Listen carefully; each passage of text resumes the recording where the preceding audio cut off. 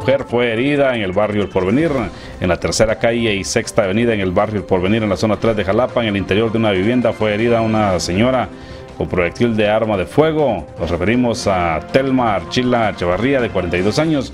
Los bomberos voluntarios fueron requeridos y al llegar al lugar estabilizaron y trasladaron a la señora antes mencionada a la emergencia del Hospital Nacional, presentando una herida producida con proyectil de arma de fuego con orificio de entrada y salida en el tórax.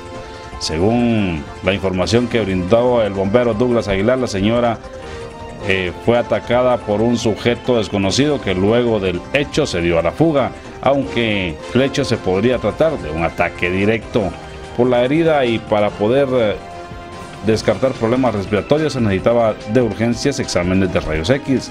Sin embargo, no hay equipo en buen estado en dicho nosocomio, por lo que la familia se vio obligada a trasladarla a un centro asistencial privado.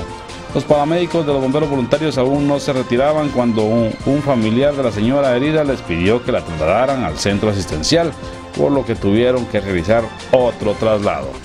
Para los T21, los Chapines y el mundo, notijalapa.net.